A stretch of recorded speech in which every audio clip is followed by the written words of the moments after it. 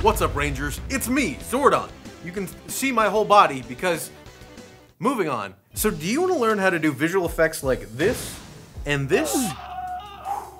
Probably better than that. Well, we have a friend of ours who does visual effects professionally and does it as a freelancer for a lot of YouTube channels. His name is Seth Film, and he's going to teach us a little bit about what it takes to be a freelancer and work with VFX clients. But to find out what it takes, why don't you give us a like, hit that subscribe button, and stay tuned to find out.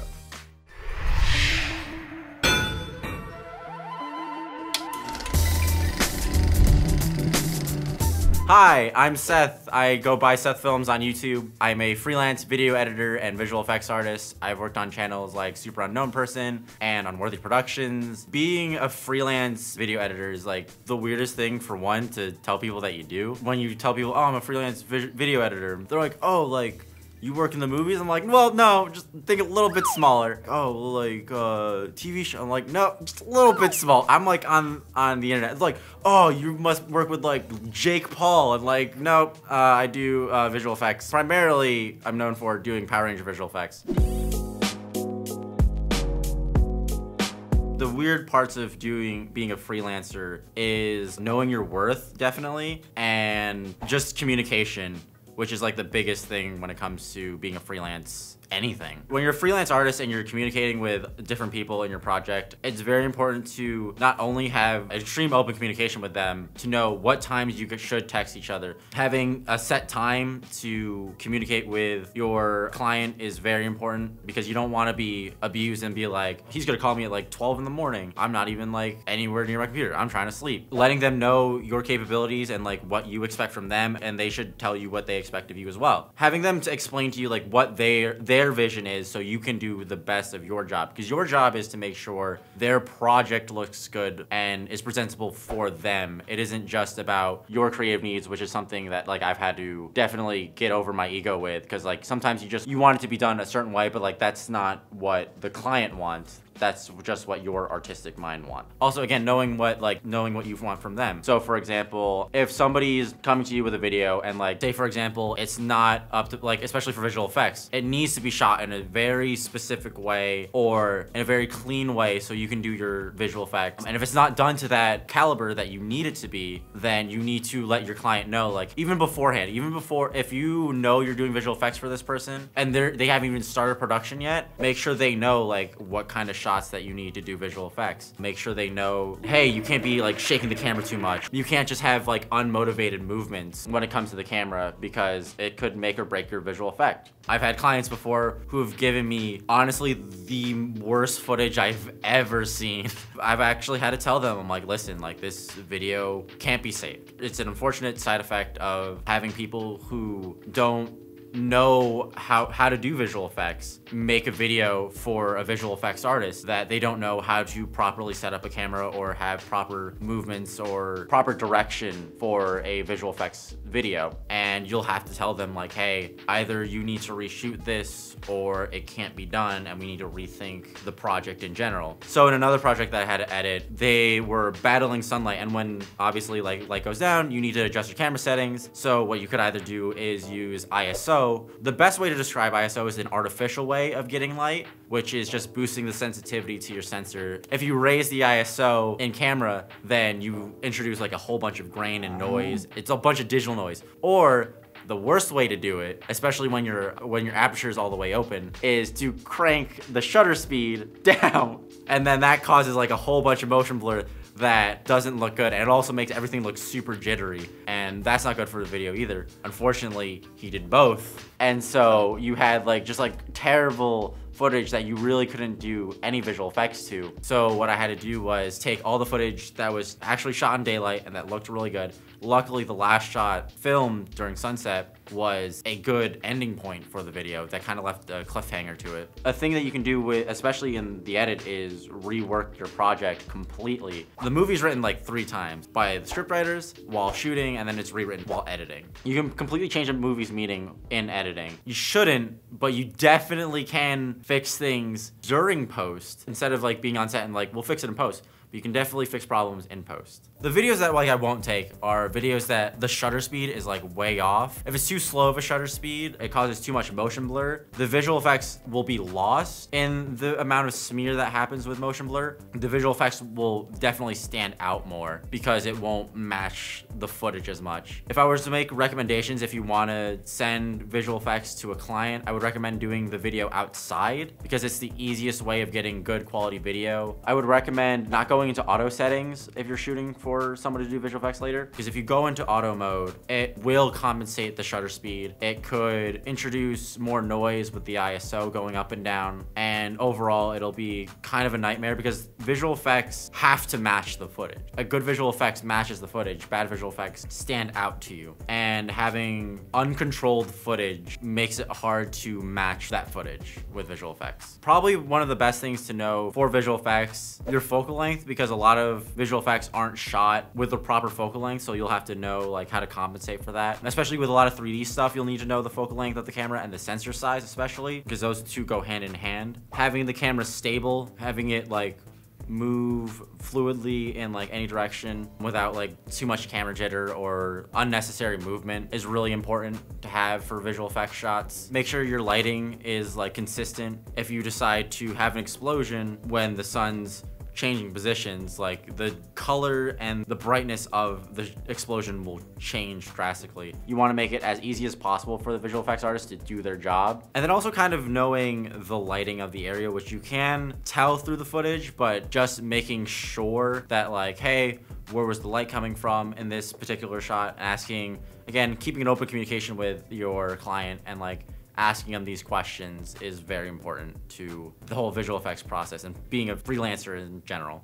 Another way to be a freelancer is to send update reports and being able to send unfinished versions, render them at like 480p or something, and then send them to your client. Having notes for visual effects and like any kind of project that you're doing is really important. I work for a production company called Unworthy Productions. Unworthy Productions makes a fan series called Power Rangers Unworthy that has a lot of spectacle and visuals and stuff like that. I personally do the sound design. Sometimes because of just production issues, we need to get a video out like really fast. So I'll need to do the sound design before visual effects are even done. When you need like a giant energy ball being flung at another person, I can't see that does it have electricity in it? So I need to add like a little electricity effects. Or like, is it Dragon Ball Z where it's just like a ball of energy? So it just needs that build up. The hard part is like not having visuals for like that kind of stuff. Knowing the tone of the video, also extremely important when you're doing sound design. If it's a really quiet moment, you don't want blaring sound effects to happen. Like if two characters are talking to each other, it's a really like touching moment. You don't want to hear every sound of their clothing wisping, but for an action scene, you want to hear your clothes move or leaves blowing or like things like that. Like subtle things go a long way. So a question that a lot of people ask is whether you should get uh, visual effects or sound libraries or to do it all of it yourself. You kind of have to do both. Like when I first started out, uh, I honestly made everything myself because I couldn't afford visual effects packs or like sound design packs. There's a lot now that are free. Like you can go, like Production Crate has a lot of free visual effects and even sound design stuff. I call them uh, Film Riot Lite. There's a lot of times where Production Crate will release something that Film Riot released three months ago and they decided to just happen to release the free version. But yeah, there's a lot of like uh, libraries that are free. You lose out on certain qualities in those free packs. And then if you're making them yourself for specifically sound design, it's really easy to do. Just grab like clothes or grab like random stuff. Like if you ever watch like a Foley artist do their work, they have the craziest stuff. So honestly, just take random stuff from your house and just start recording them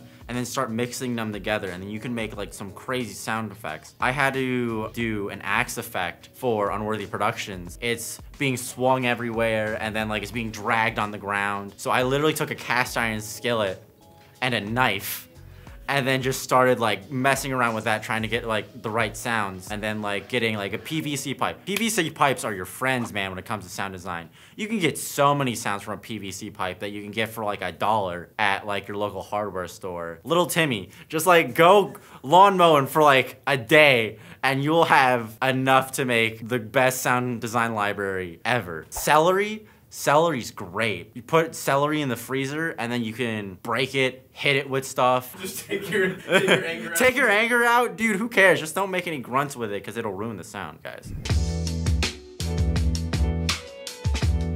To get started in doing freelance work and doing like visual effects or sound design, honestly, the best way to start out is to show off your work. So by just like shooting stuff yourself and showing that like, hey, look, I can make an explosion or I can do this lightsaber effect. Being able to show your work is the number one priority because you can say all these things that you can do, but if you don't show it, unfortunately, the client either won't believe you or they will ask you to do more than you are clearly capable of. Doing it independently and then just like going out to people and asking if they need help. Like, uh, there's a lot of YouTubers who will ask for editors, or I've even like for a lot of my clients, I've gone out and said like, hey, I, I asked them questions like, okay, like who's doing your sound design, who's doing your VFX work, and such and such. They've all said to me like, oh, like we do it independently, like I do it personally. I will normally say like, hey, I can help with that. Like again, just like asking people if they need help or like asking like if they would be willing to hire you, even if it's not for much at first, but then like as you both grow, then the price obviously you're getting paid grows with it.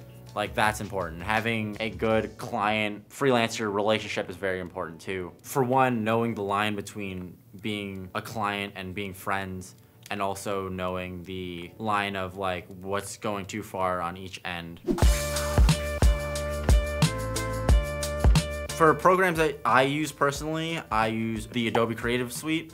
So I'll use Premiere, I use After Effects, I use Audition. I will always preach HitFilm Express as a free visual effects program. DaVinci Resolve, again, free software that literally professionals use. Unlike Premiere, you only have to pay for it once. And if you decide to get any Blackmagic product, you get it for free. Another cheap software, Sony Vegas, I always recommend because it's very streamlined. It's very like, I again, I'd like to say it's like Adobe Light. Like it has everything that you need in it, but none of the benefits. So for visual effects in After Effects, I'd always recommend getting, honestly, a majority of the video copilot stuff. Getting things like Sabers. Their free program Sabers is really good for even like graphic design and doing like really unique kind of like energy effects. And especially if you want to do energy effects on a budget, getting Sabers is a must because you can make really cool looking energy effects for free. I will always praise the Lord. Red Giant's Particular Suite, that's always a good software, and especially now with its update using Fluid Sim, it's an incredible software to use. Adobe has like a lot of great plugins on its own,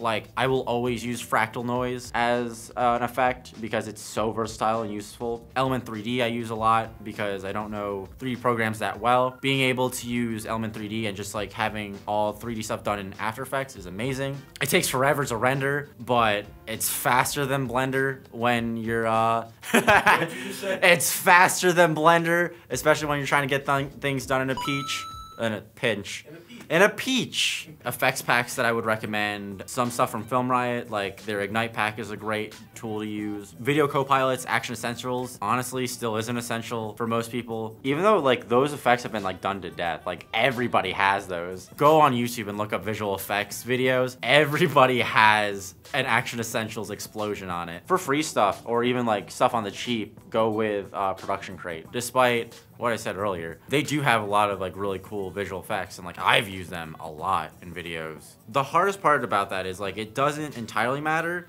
What matters is time. You can make a very like intricate visual effects piece, but it's going to take time that your computer is going to need. So if you have the money and the budget, a lot of RAM, a really good CPU, the GPU doesn't matter as much, especially with the Adobe suite, but having one is a very good plus to have. But you can really get away with anything as long as you know the limitations of your device. Like say for instance, you have just like a consumer computer or like even like a gaming computer, but it's not like super high spec. You can get like really good visual effects, but you're gonna have to like render each layer individually and then add them all back in and then render it out. So it's not as super intensive as a process, but it will take longer for you to render out visual effects like that. So if you guys uh, want to get in touch with me for visual effects, if you guys want to see the stuff that I'm working on, you can uh, see a bunch of stuff that I've been working on on Instagram at Seth Films. Find me on YouTube at youtube.com slash C slash Seth Films. I have my DMs open. You can message me. I will look at them if they're a request. If it's just saying like hi, I probably won't answer it.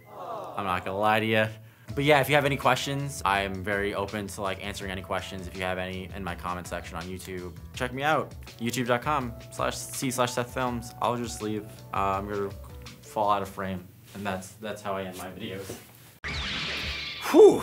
Well, thanks for that, Seth. I think we all learned a lot of valuable stuff about working with clients and being a visual effects artist. Number one, communication is key. You need to know what your worth is and what the client wants from you, and make sure that you're delivering exactly what they're looking for. And if they don't really know, you're working with them to deliver something that they're going to enjoy. And sometimes that means to give them temporary visuals, like something that's in 480p that they can then look at and see if that's what they want. And another thing is not being afraid to use some assets you downloaded. When you get started, you might want to make everything yourself, but as you grow more and more, it's easier to grab some visuals and put them together to make something unique. And like Seth said, basically everybody doing action visuals is using the Video Copilot Action Essentials pack. So there's no problem with using stuff that you find online. Just make sure to give credit where credit's due. And like Seth said, you don't need to have the most amazing computer to do some visual effects but you need to make sure that you're willing to put in the time to not only do the effect, but then let it render. And the better computer you have, the quicker it'll go, but you can make anything work. And I'll tell you, it is completely worth it. Making a visual effect just feels so amazing to complete. And if you're working with a VFX artist, it's really important to know how to deliver the footage to them so that they can make the visual effects. Seth gave us a lot of really good tips about how to deliver footage to him, but your VFX artist might want something different. So make sure you're communicating really well with them so they have exactly what they need to make the best product. And on that note, that'll do it for. On that note, thank you so much for watching, and we want to send a huge thank you to Seth from Seth Films. It's super awesome talking to him about cameras and visual effects, and it is always a pleasure to hang out with our boy. And if you like this video, give it a like. If you didn't, give it a dislike, and consider subscribing for more videos like this one. And go give Seth a subscribe, and uh, subscribe on Instagram. He needs it. Doesn't have too many on there. Subscribe to someone on Instagram? Subscribe to his Instagram. Subscribe to his uh, OnlyFans on Instagram. And as Zordon says to the Power Rangers, make it so, number one. Lightspeed to Endor.